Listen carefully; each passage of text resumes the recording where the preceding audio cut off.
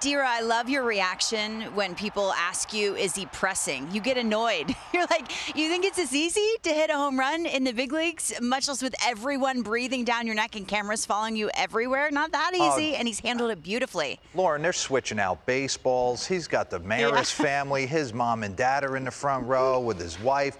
I can only imagine the pressing. Like people just the expectation that you're going to go deep at some point is crazy. But that's the difference with this guy. We see we've been blessed this year, 2022. We've gotten a chance to see Miguel Cabrera go 3,000 hits.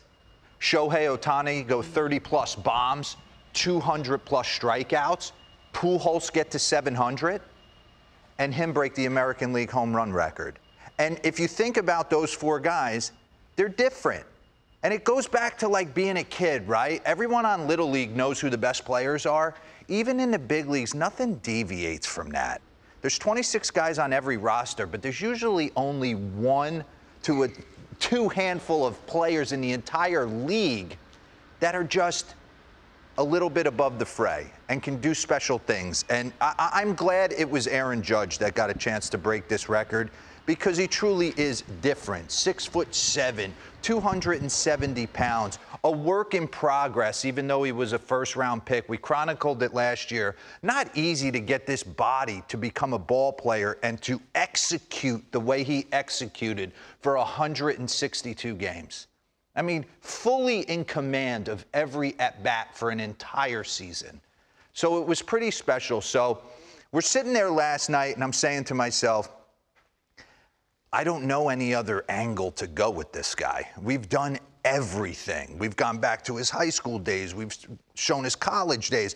Let's just honor the moment because it truly is. You take down the Bambino, you take down Jolly Roger, Roger Maris.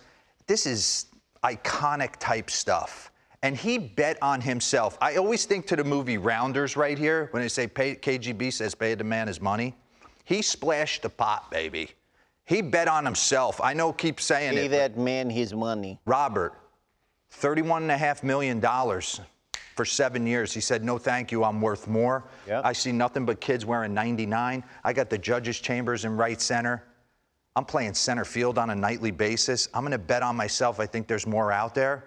And oof, he called some people's bluffs. So to be able to go out and do it, I just want to take you through the moments of last night. Let's go. Claudia did an amazing front end right here back in edit. So cool to see the reaction of his teammates. I want to take you through this AB.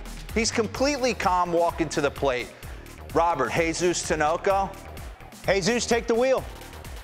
Can you back that pitch up for me real quick? 1-0, he weeds as a heater, and then he throws this cement mixer. I'm sitting on my couch. I'm like, if he throws that pitch again, he might as well turn around and throw it over the left center field because there's no way he's not running into this. And that's exactly what happened. He went right back, and credit to the Rangers.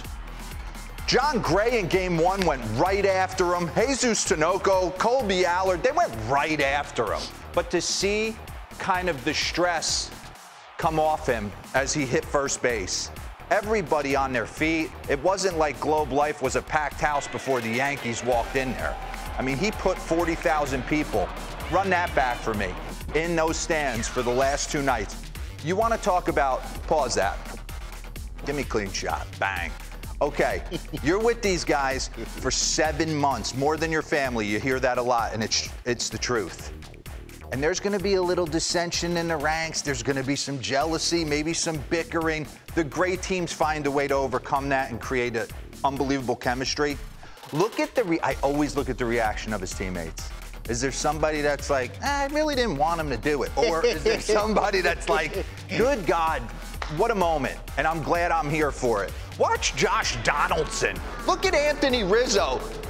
It's not like Josh Donaldson's having a year for the age. He doesn't care. Let's get it, boys. He just got here. Cabrera. That's what I love. Nestor Cortes, Severino, all the boys piling out. Harrison Bader barely knows Aaron Judge. He's like, I can't believe I'm here. I got a chance to play with Pujols and Aaron Judge in the same season. Look at the bat boy getting the bat. How blessed am I? So, Aaron Hicks, he hasn't had the year he's wanted to. But in this moment, Stanton, 59 homers and NL MVP. I can only imagine him saying, You deserve this. Look at Donaldson all over him. Look at that face. Let's get it, boys. I'm a part of history. So for me, that's the stuff.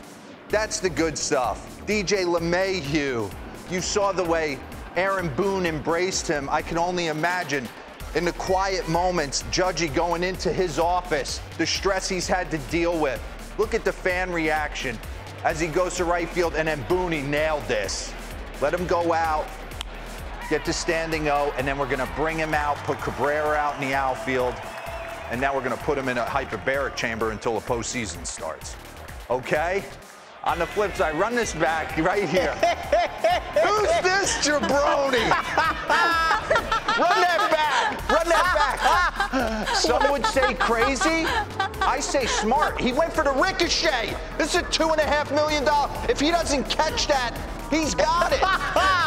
if he didn't blow both legs out. Oh my God. That was unbelievable. Hey, the guy that caught it is a uh, he works he works for Fisher Investments, and up until recently, Fisher Investments was like a sponsor of MLB Now. So by rule and by law, the ball actually belongs to MLB Network and and us. So we will be- Imagine. That was that was Risking it all. pre-planned. He's like, if this is like five feet to my, I'm going for it. Going Oh for yeah, he had the cap on the market if it went down there. Man, I love it. So good. That was so good. Really good stuff.